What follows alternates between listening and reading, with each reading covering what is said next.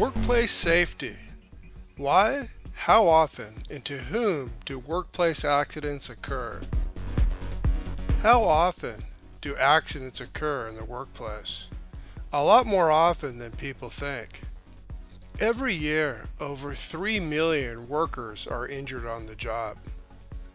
And there are about 5,000 deaths each year in the workplace. Who is injured most often at work?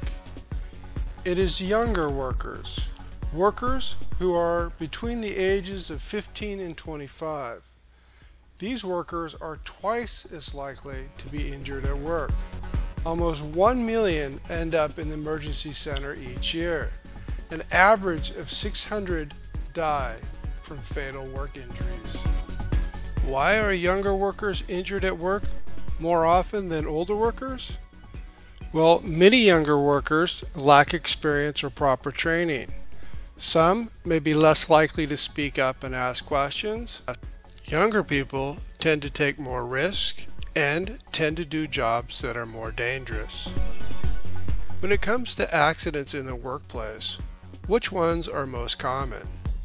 Slips, trips, and falls. These are the most common types of workplace accidents. It is estimated that there are 25,000 slip, trips, and falls each day at work. They account for 25% of all workplace injuries and 15% of fatalities. Be careful not to underestimate the seriousness of slip, trips, and falls.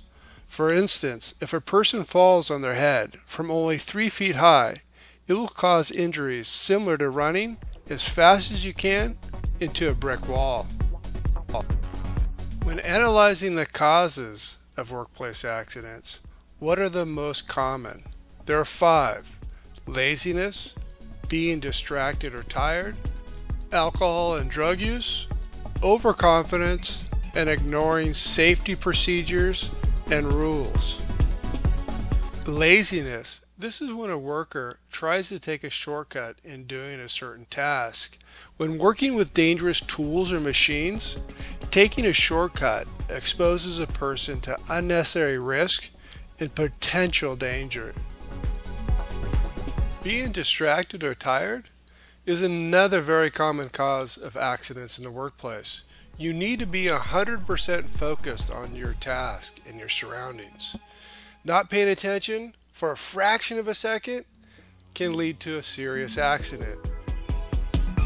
Another common cause of accidents alcohol and drug use. To be safe at work, you need 100% of your capabilities. Drugs or alcohol will slow a worker's reaction time and make him or her more careless or clumsy. Overconfidence can also be a cause of accidents at work, especially with younger workers. This is when a worker feels they are invincible or they are so good at their job that nothing bad could happen to them. The last cause of accidents in the workplace ignoring safety procedures or rules. Safety rules and procedures are created to prevent accidents.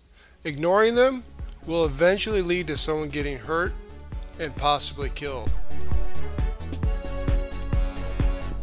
When you look closely at the common causes of workplace accidents, what do you think links them all together? What links them together is a lack of awareness and focus on the job site. More often than not, the person involved were not were not thinking of safety or keeping it as their first priority.